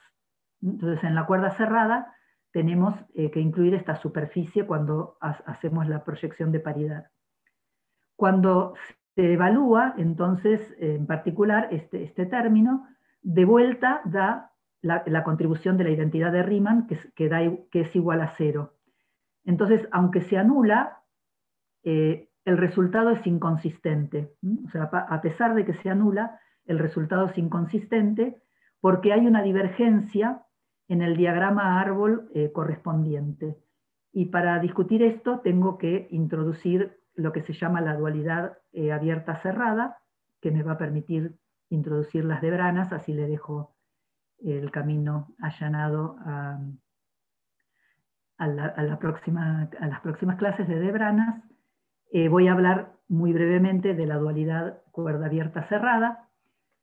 En eh, la cuerda cerrada empezamos con una teoría que está definida sobre el cilindro infinito, o sea, parametrizamos eh, con sigma y tau, Sigma toma valores entre 0 y L y es periódica, y tau va entre menos infinito e infinito. Si imponemos condiciones de periodicidad en tau, entonces tenemos la topología del toro. Para la cuerda abierta, eh, la, coordenada sigma no es periódica y tau toma valores entre menos infinito e infinito. Eh, y para la función de partición a un loop, hacemos tau periódica y tenemos la topología del cilindro. O sea, acá vemos una cuerda abierta eh, que, barre una franja a nivel árbol, pero si hacemos tau periódico nos da la superficie de un loop que es el cilindro. Si intercambiamos los roles de tau y sigma, porque en una teoría eh, covariante eh, da lo mismo cuál es el tiempo y cuál es el espacio, entonces se puede interpretar la función de partición en el cilindro, que es el diagrama a un loop de cuerda abierta, como un diagrama árbol de cuerda cerrada. O sea, eh, a nivel de un loop, una cuerda abierta describe un, loop y nos da el cilindro, pero eh, a nivel árbol uno puede pensar en esta cuerda abierta como que es emitida en una superficie que la llamo A y es reabsorbida en otra superficie que, la llamo B. O sea, la amplitud árbol describe la emisión de una cuerda cerrada desde, un borde del cilindro al otro. En los dos casos, estas, estas superficies que dibujé acá, A y B, son debranas, se llaman eh, debranas. En el caso de la cuerda abierta, son objetos donde terminan las cuerdas abiertas, o sea, los extremos sigma 0 y L están eh, en estas superficies A y B, y en la cuerda cerrada son objetos que emiten y absorben cuerdas cerradas. Eh, estas debranas, ya lo van a ver en la próxima clase, que tienen tensión y tienen carga de los campos de Ramón Ramón, y estos dibujos nos permiten entender lo que se llama la dualidad abierta-cerrada, o sea, la misma amplitud se puede considerar como eh, una amplitud de un loop de cuerda abierta o como el intercambio de cuerdas cerradas a nivel árbol. ¿Mm? Esta es, la dualidad abierta-cerrada. Y hay algo parecido para eh, las cuerdas no orientadas. Y el resultado se interpreta como el acoplamiento de los modos de cuerda cerrada a, los crosscaps a los crosscaps a final del tubo y la posición de estos crosscaps en el espacio-tiempo se llaman eh, planos orientifolios. Esto, en este caso particular, que la teoría está en 10 dimensiones, estos se llaman O9 planos, o sea, son orientifolios eh, O9 planos. Bueno, créanme ahora que seguramente lo van a ver en más detalle en las próximas clases. Y de vuelta, estos eh, orientifolios tienen tensión y carga de Ramón Ramón. Entonces, bueno, vamos a ver que, eh, cuáles son las inconsistencias que aparecen en la función de partición en la cuerda 2B eh, no orientada. Eh, cuando uno lo piensa, en lugar de pensarlo como una amplitud a un loop, lo piensa como intercambio de modos no masivos de cuerda cerrada, esto em, da divergencias en el canal árbol, en el canal em, a nivel árbol, que se pueden ver si uno desarrolla la función de partición, aunque se cancelan, porque el sector de Neve-Schwarz cancela el sector eh, de Ramón, eh, hay divergencias por el intercambio de partículas no masivas eh, y vamos a ver digamos, cuál es la inconsistencia que esto da, o sea, como los, como los O9 planos que están en los, en los bordes de la cuerda no orientada llevan carga de Ramón-Ramón, entonces en la teoría efectiva tiene que haber una, una diez forma, o sea, tiene que haber un término que corresponda a, la diez forma de Ramón Ramón, que es la que, la que le da la carga de Ramón Ramón a los nueve planos. Eh, o sea, bueno, recuerden que habíamos visto que había un, un, estado escalar, un, un, escalar en el sector de Ramón Ramón de la cuerda 2B, y entonces aparecen también todos los duales de Hodge, en particular el, el campo que es una 10 forma es el dual de Hodge de la cero forma. Y entonces eh, hay que incluir en la acción efectiva un término que tenga carga del eh, O9 planos, del O9 plano. Y bueno, y el término en, 10 dimensiones tiene esta forma, en la carga del O9 plano eh, por la 10 forma. Y no hay término cinético de la 10 forma porque en 10 dimensiones la fuerza de campo es igual a cero. Entonces, la ecuación de movimiento de la 10 forma dice que eh, la carga eh, mu o 9 tiene que ser igual a cero. Pero entonces, como hay un plano que está cargado, eh, esto viola la, ecuación de movimiento, o sea, el plano, el O9 plano, como está en la teoría, viola la ecuación de movimiento que dice que la carga del O9 plano tiene que ser igual a cero. Entonces lo que hay que hacer para tener una teoría consistente es eh, agregar objetos que cancelen la carga total.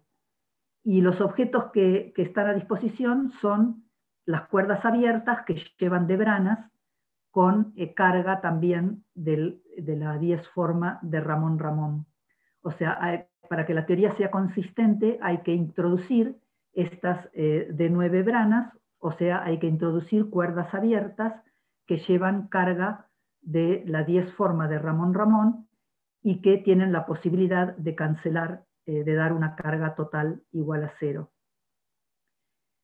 Bueno, la fuente de, esta inconsistencia está entonces ya eh, a nivel árbol, cuando uno calcula las funciones de un punto de, la 10 forma de Ramón Ramón en el disco, que son digamos, los diagramas árbol de la cuerda abierta, en el disco y en el plano proyectivo, en la cuerda abierta no orientada, las funciones eh, de un punto de la 10 forma de Ramón Ramón son distintas de cero, y esto corresponde, eh, estos son tadpoles, son los mismos tadpoles que aparecen en las teorías de campo, o sea, si uno mira en el límite en que el, que el cilindro eh, se hace muy largo, tiene una dimensión infinita, uno puede pensar como el acoplamiento de las cuerdas cerradas a los discos que están en el, en los extremos del cilindro. ¿no? Y esto, en el caso de la teoría de campos, corresponde a este diagrama de Tadpole, o sea, las cuerdas, estos puntos que están acá en el diagrama de la teoría de campos son, son los Tadpoles. Eh, las cuerdas que vienen del infinito tienen momento cero, y entonces el propagador es eh, la inversa del momento al cuadrado, eh, es divergente, y entonces hay divergencias en estos diagramas en la cuerda de la cuerda cerrada, ¿no? en el diagrama de cuerda cerrada, eh, a, nivel árbol.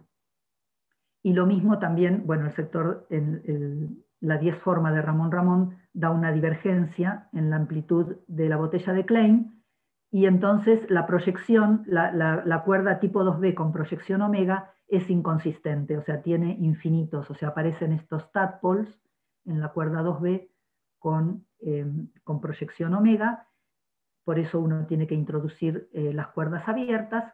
Y, bueno, muy rápidamente, porque ya se me acaba el tiempo, eh, lo que sucede es que cuando uno introduce n de branas y calcula la amplitud a un loop para cuerdas abiertas que están estiradas entre un conjunto de n de, nueve branas, eh, aparece la misma, la misma expresión que aparecía en el caso de la tipo 2b, pero con un factor n al cuadrado, que tiene que ver con que tenemos n de branas en un extremo del cilindro y n de branas en el otro extremo.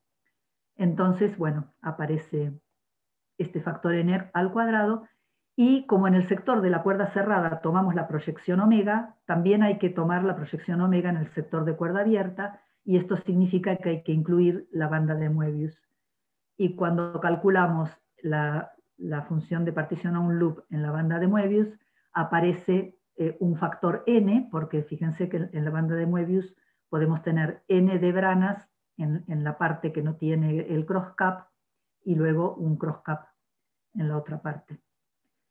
Entonces aparece en la amplitud eh, a un loop este factor n, de manera que combinando todas las divergencias, las divergencias resultan ser proporcionales a un cuadrado perfecto y eh, en particular, eh, entonces este cuadrado se, se, cancela si uno toma n igual a 32, o sea que la carga negativa del O9 plano se cancela con la carga positiva de 32 de Branas y esto deja una teoría consistente. Bueno, ya se me acaba el tiempo, así que solamente muestro acá cómo es esta cancelación, o sea, básicamente la cancelación de tadpoles es esquema, tiene esquemáticamente esta forma, o sea, tenemos en el cilindro, en, eh, la banda de Möbius con un cross cap en un extremo más el cross cap en el otro extremo, o los dos cross caps dan un cuadrado perfecto y esto entonces, eh, bueno, resumo rápidamente, eh, nos da la teoría tipo 1 que tiene la proyección omega de la tipo 2b que tiene cuerdas cerradas y eh, la, parte que viene de la teoría eh, tipo 1 nos da, da el sector de gauge. O sea, cuando uno mira el espectro no masivo de la teoría tipo 1, tiene el sector de gravedad que viene de la cuerda de la tipo 2B con la proyección omega, eh, el, dilatino y el gravitino, que vienen cuando uno combina el sector de Neve-Schwarz-Ramón con Ramón-Neve-Schwarz, y el sector de gauge que viene de las cuerdas abiertas, y tampoco tengo tiempo de explicar, pero el único grupo de gauge eh, admisible es el SO32. O sea, justamente el 32 tiene que ver con la cantidad de debranas, eh, y entonces del sector de cuerda abierta tenemos un vector y eh, el gaugeino, que es el compañero supersimétrico del, del bosón de gauge. Este es entonces el contenido de no masivo de la teoría de supercuerdas tipo 1, que corresponde a la supergravedad eh, tipo 1 acoplada, la supergravedad con una supersimetría acoplada a eh, Super Ian Mills. Bueno, entonces rápidamente termino con este diagramita que nos dice que, bueno, solamente tuve tiempo de discutir y muy rápidamente, demasiado rápidamente, las cuerdas cerradas tipo 2A y 2B, y la tipo 1. Pero, bueno, no, pude discutir la heterótica, las heteróticas, que son básicamente un producto de cuerda bosónica por cuerda supersimétrica, a izquierda y a derecha, o viceversa. Eh, pero lo que se puede ver es que todas estas teorías eh, se consideran, digamos, son, están relacionadas entre sí por eh, dualidades. Eh, no, son teorías distintas, sino que están todas relacionadas. Se considera que son eh, distintos vacíos de una única teoría que se llama eh, la teoría M, que también tiene en otra de sus puntas la supergravedad en 11 dimensiones, que ya habíamos visto que el espectro no masivo de la supergravedad en 11 dimensiones, al compactificar en una dimensión, nos da la teoría de supergravedad 2A. Entonces, bueno, este es el, digamos, este es el estado de, la situación. Digamos, hay una, teoría, digamos, la, evolución de la teoría de cuerdas evolucionó hacia esta teoría M, que contiene las teorías estas perturbativas de cuerdas que vimos en, distintos límites de, lo que es la, la, teoría M, que es una teoría que está en construcción, o sea, no se sabe todavía bien qué es esta teoría, Em, pero bueno, lo que vimos en este curso, entonces, muy demasiado rápidamente, eh, son algunos de los, de los límites, digamos, de esta teoría más fundamental que es la teoría M. Bueno, y termino acá, perdón que me pasé, eh, pero bueno, si quieren respondo preguntas. Sí, muchas gracias Carmen por tan bonito curso y tan nutritivo. Este, ya que hubiera querido yo un curso así cuando, cuando era más joven.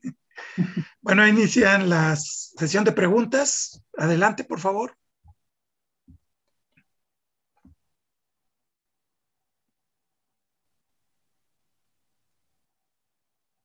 Ya se fue.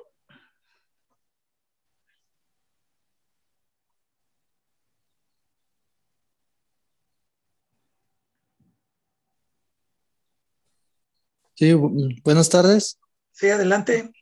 Eh, mi nombre es Francisco.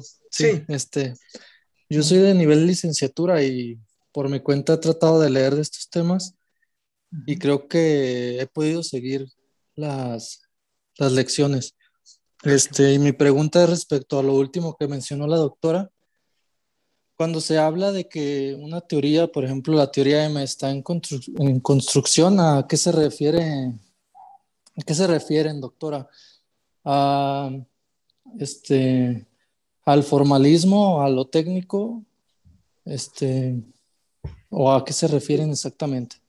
Eh, a que en realidad no se sabe qué es la teoría, ¿no? O sea, nosotros empezamos eh, suponiendo que las cuerdas eran los objetos fundamentales, construimos una teoría de cuerdas, de, objetos de una dimensión, pero nos encontramos que, eh, digamos, cuando uno hace la teoría perturbativa, eh, aparecen, o, cuando uno mira, por ejemplo, estos campos, estos, eh, campos de, Ramón Ramón, aparecen estos objetos que son las debranas.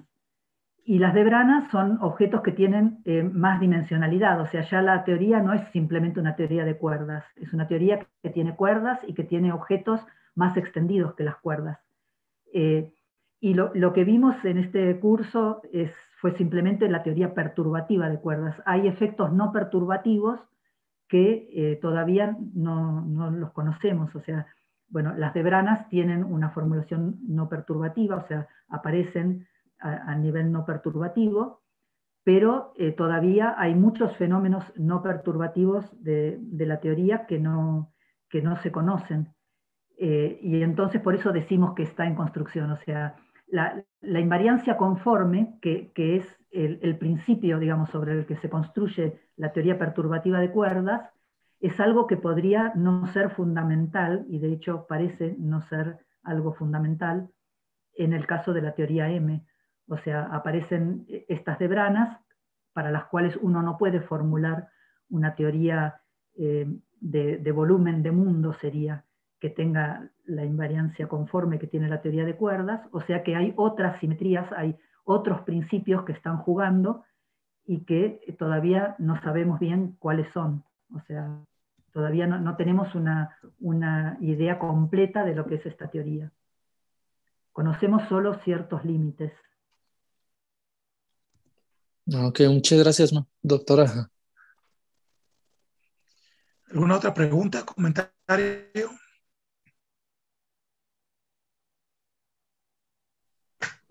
Tengo una pregunta. Adelante, Luis. Este, es, sobre, respecto a, esta, este, a la invariancia modular, es decir, esta, esta zona este, donde eh, incluye aquellos, aquellas métricas que, que, no se pueden conectar vía difeomorfismos o este, transformaciones de Bayes. Esa, esa región, o sea, esa región sí es fundamental en la teoría, independientemente de los límites que estemos estudiando, esa es la primera pregunta. Eh, independientemente, como independientemente de los límites. O sea, o sea, es decir, al momento de buscar una teoría fundamental como teoría M, o sea, ese, ese sí sería un, un guide principle, es decir, esa invariancia modular, si es un principio de guía que uno debería de tenerlo ahí cerca. Sí, o sea, la invariancia modular es un principio básico en la teoría perturbativa de cuerdas. O sea, la teoría perturbativa, eh, eh, digamos, por consistencia, uno tiene que tener invariancia modular. Entonces, bueno, esta teoría M, en el límite en el que se reduce a las teorías perturbativas de cuerdas, eh, esto debe ser algo fundamental. Ahora, ¿de qué manera aparece la invariancia, la invariancia modular en la teoría M? No sé. digamos, sabemos explicarlo bien en, estas, en esta formulación perturbativa. Eh, o sea que, digamos, si uno hace una teoría perturbativa de, eh, de la teoría M, en, algún límite va a encontrar esta invariancia modular. Sí. O sea, bueno, lo interesante es que, o sea, uno empieza a estudiar interacciones, ¿no? De esos, de esos objetos. Y luego, o sea, viendo los, los dibujos, o sea, al menos uno se da una intuición viendo los dibujos y uno por ahí ve superficies de Riemann que uno dice son toros, ¿no? Y luego uno, uno piensa un poco en, eso y se termina en esta invariancia modular. O sea, la observación de eso que termina uno en una invariancia modular. Sí. Y luego, y luego, o sea, luego, eso que está ahí, en algún sentido, o sea, no es que dependa al orden en el que yo esté expandiendo en la constante esta de, de las interacciones de la cuerda, ¿no? Es decir, porque uno puede ver el, primer, o sea, el, primer, este, primer orden, el primer orden, y uno, ok, o sea, empieza a jugar con ese primer orden y obtiene cosas, pero si, pero si me voy a más órdenes, eso por ahí está, ¿no? O sea, es decir, no es que desaparece. No, claro, claro, sí, de hecho se puede mostrar que la invariancia modular a un loop eh, es, es, básica, digamos, es como que implica que, va a ser invariante modular la teoría a más loops.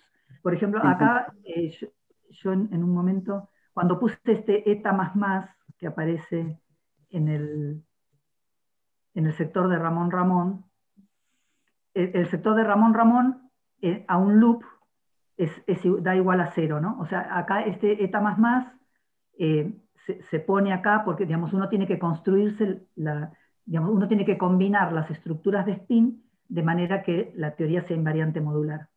Pero eh, acá esta contribución del sector de Ramón es igual a cero a un loop. Pero cuando uno calcula a dos loops, entonces ahí uno puede ver que eh, esta eta más más solo puede tomar valores más o menos uno. O sea, esto no se puede determinar a un loop, pero a dos loops eh, queda determinado como más menos uno y bueno, y, la teoría sigue siendo invariante modular. Ok. Esa, esa, figura, esa figura que sigue en la otra, en la otra slide donde aparecen las debranas. O sea, es, esa, Acá. Ahí sí. O sea, es que en principio pareciera que cualquier debrana es válida.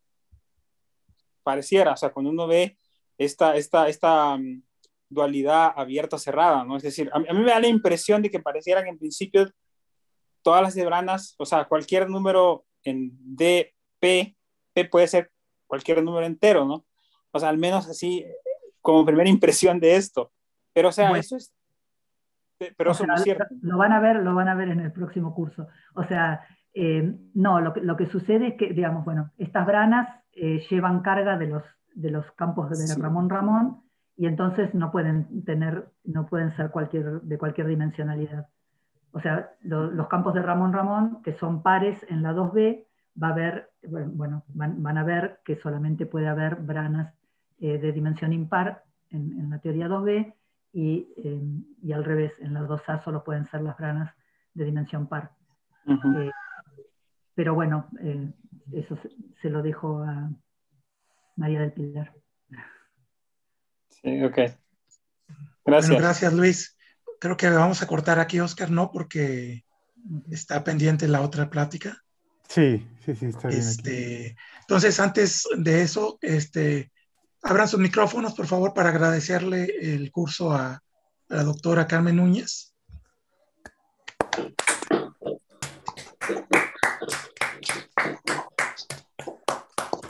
Muchas gracias, Carmen, este, por tan bello curso. No, gracias a ustedes. Este, Muchas gracias, Carmen, por, la, por el apoyo, por la disposición. Eso nos, nos, nos, ha beneficiado mucho en esta escuela. Muchas gracias. Bueno, me dejo. Bueno, sí, los felicito a ustedes también por la organización. Sé que cuesta mucho organizar estas cosas y, bueno, realmente me parece que, está yendo muy bien. Sí, muchas gracias. Bueno, a ustedes. Hasta pronto. Hasta pronto. Hasta pronto. Muchas gracias. Y este, regresamos en 10 minutos con el curso de branas y dualidades.